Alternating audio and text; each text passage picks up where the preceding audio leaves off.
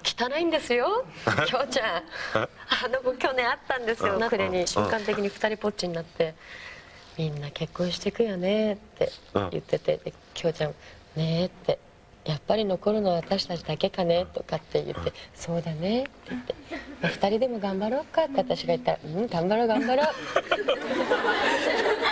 お前は一体なんだお前は？もうそれを言ってた時点でもう二人でベッドの中で写真撮ったりしてて準備してたんだじゃんうんねでもあきらちゃんも汚い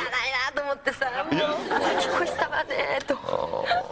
やっぱりねあのどうしてもね特別自分が焦焦るとか、もうあ私も